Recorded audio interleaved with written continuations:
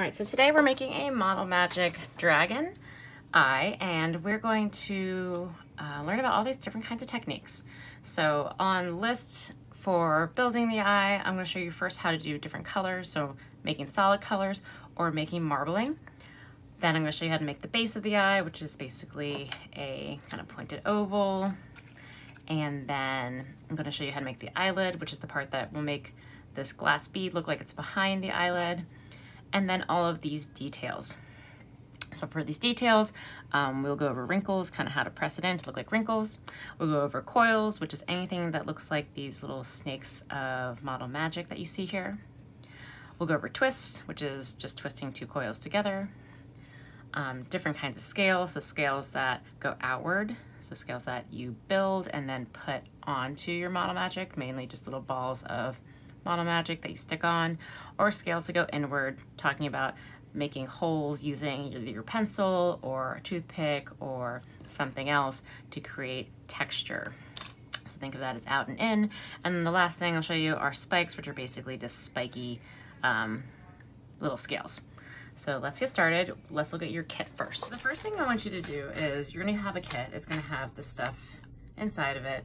And then for me, if you're in class with me, you're gonna choose three analogous colors and an eye. So I chose an eye and then I figured out what analogous colors I was gonna use to kind of contrast it. You can either make it match or contrast, that is up to you. Um, this is really very specific, but when you open your Model Magic, um, I want you to do your best to keep the packaging a rectangle. And that's because at the end, if you have extra that you don't want to stick together, um, you can wrap it. So cut it open, try to open it like a bag of potato chips. And then you open it like this. Peel the ends so that you have a rectangle for wrapping stuff later. Okay. Um, so once you have your Model Magic out, we also need to write your name on your bag.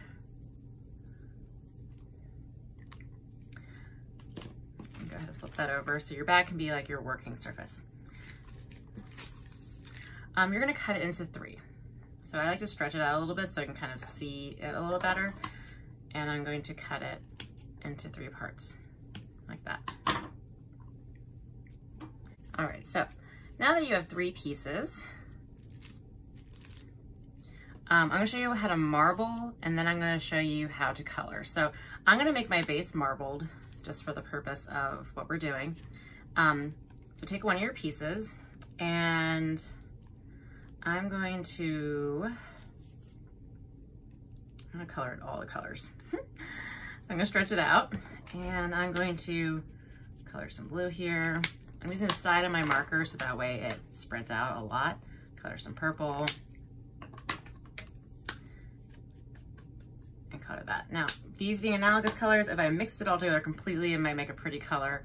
Um, if they're not analogous colors or not close enough to each other, um, they might mix and look kind of weird. So marbling is when you mix it, but you don't mix it all the way. So you mix it, you see it's starting to turn fun colors, and at a certain point, I'm gonna stop. Okay, I'm gonna go ahead and roll it into a ball. Those are some pretty interesting colors. That's how you marble. You put color on it, it can be one color, it can be many colors, and then you don't mix it all the way. So this is gonna be my base. And so I rolled it into a ball, squish it down, and I wanna make an oval. So once I squish it down, I'm gonna stretch it into an oval, and then I'm not going to make it any thinner than, we have our little sketchbooks, try to make it no thinner than that. So my oval, for me, it's like that in my hand. For you, it might be a little more like that. So try to judge it but if you keep that thickness, it should be okay. All right, the next thing I'm gonna do are the eyelids. So that's one third. The next third is gonna be my eyelid. I think that I'm going to do my eyelid, hmm, blue and then the rest of it I'm going to, actually I'm gonna do mine bluish purple. So I'm gonna mix this completely to make blue.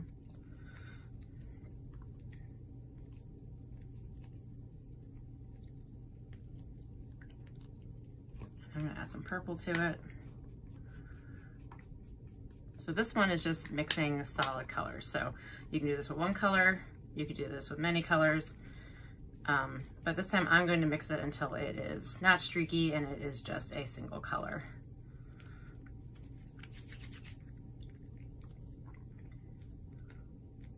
So I'm stretching it a little bit and folding it, stretching and folding until my colors are mixed. It's kind of a nice periwinkle lavender color.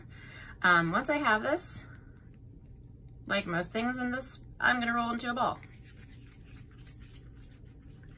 Once I roll into a ball, I'm gonna press it down and I wanna make a similar shape to this. So I'm gonna stretch it out. Actually, I feel like I'm gonna switch these. I want this one to be my, I want this one to be my base. I want this one to be my top. Um, so once you have two similar sized ones, I am now making this my base. I'm gonna stick my eye onto it. And this other one, I'm going to split long ways, like this.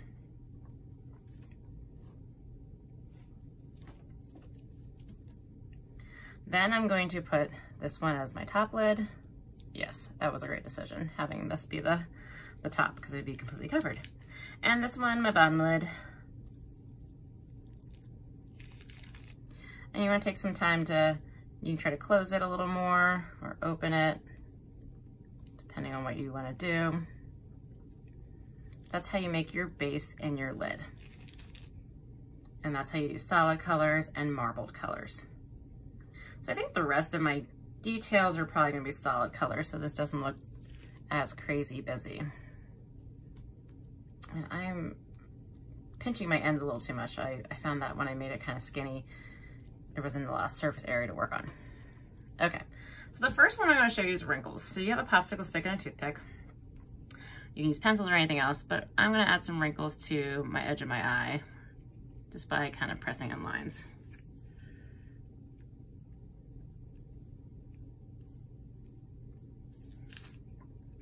You can do this on other things too, but I like to do it right now around the eye so that way it has a kind of a cool, um, kind of squinty, wrinkly thing going on.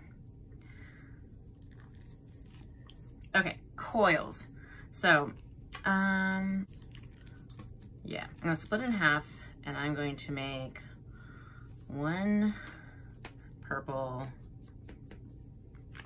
and one pink. Mix it together.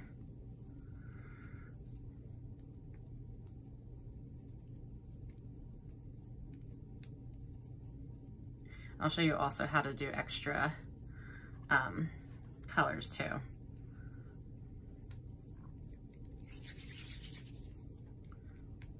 Stretch and mix. The stretching and mixing is so relaxing sometimes. Okay, so coils can be as simple as just making a little snake and putting it onto your artwork. So I'm gonna make one that just goes below my eye, kind of around my, and I can add more texture to this later. And I'm gonna make one that goes above my eye, but I'm gonna twist it. So that's one, that's just a coil. You can also like, you know, twist them. You can make little like curves with them.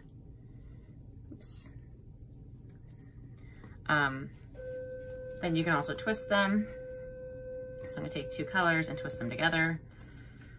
If that goes wrong, the twist, you can also just marble it. So um, I'm gonna twist this. And then I can make a coil that goes like that. Looks kind of cool. Um, so we have wrinkles, we have coils. Let's talk about scales that go in and scales that go out. So I'm going to make some blue so I can do some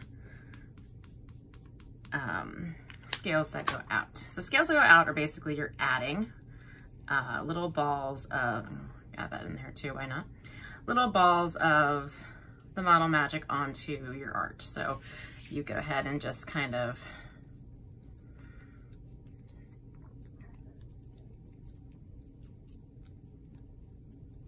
mix a color, and then make a bunch of kind of even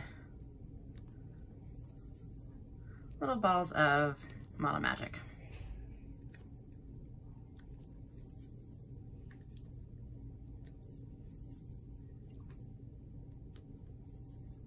You can stick them on like in a row or you can stick them kind of randomly. So this one I kind of stack them and then this one's kind of random. So this one over here, I'm gonna stack them.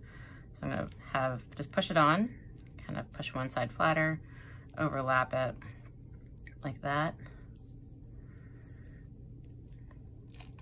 And once they're on, they're on. So make sure you're sticking them where you want them to actually be stuck.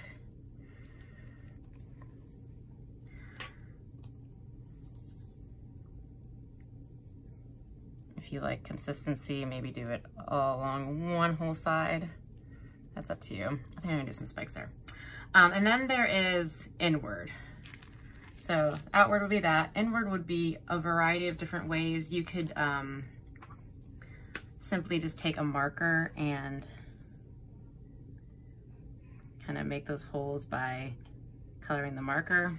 We also make kind of like little indents that have a little bit of a shine to them. Uh, you could do that on your scales that you already made too. They could be outward and inward.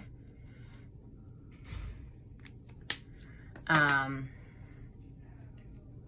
and then let me show you some spikes. So spikes can be, like most things, you roll them into a ball first. and I'm gonna do some white and some blue.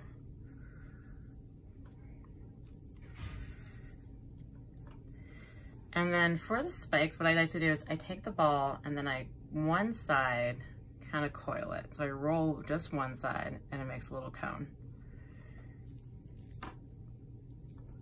So watch that again. I have a ball, go around, try to put my finger on only one side of it, roll it back and forth. So I'm squeezing a little bit to make that little, little spike. Oops.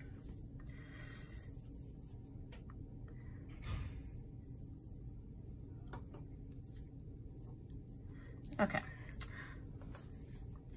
I can also, where did my toothpick go? Um, add some more details to like this I was talking about earlier. Um, so I could take my toothpick and I could make some more wrinkles. Um, you can take other things like a pencil if you don't want color or a pen and you can add like little circles and stuff.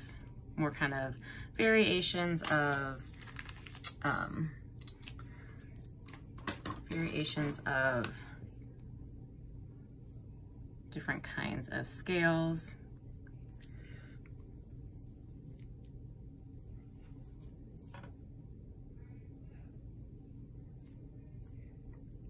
And then I wanna try to balance things. So I have white up there. I might add white down here. I might decide to cut some of this off and try to make something else interesting with it. Um, so try to find balance with your colors and maybe kind of your textures however you want to. And this Model Magic actually goes a pretty long way. I thought I would have not a lot of extra, but you know what, I'm gonna show you what to do now if you have extra or if it's the end of class. So let me roll this up, put it on, and now I have extra, but it's also the end of class. Okay, so I told you to keep your paper just in case. So I have some colored Model Magic and some white Model Magic left. Um, what I want to do is I basically just want to make little pockets for these. So uh, you could cut this and wrap up your extra pieces so that they don't touch the other ones. Um, but if you have extra that's colored or you don't want to touch the Dragon Eye now, you can wrap them up and kind of put them at the bottom of your bag.